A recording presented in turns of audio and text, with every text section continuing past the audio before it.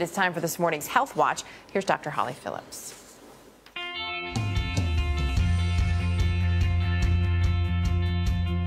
Good morning. Today in Health Watch, a simple trick to make needles painless. Almost every patient dreads injections, but new research shows looking away or closing your eyes while being given a shot can make it hurt less.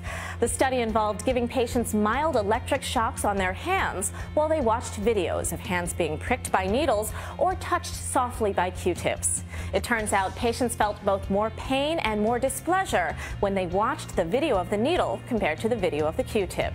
The researchers say this proves that much of the pain that we feel from needles comes from our expectation of the pain and the visual experience of having a shot.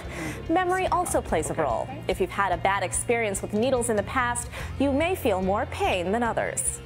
So the next time you're told to roll up your sleeve, close your eyes, turn away, and think some happy thoughts. It just takes a second. But if you still dread the needle, just know you're like everybody else.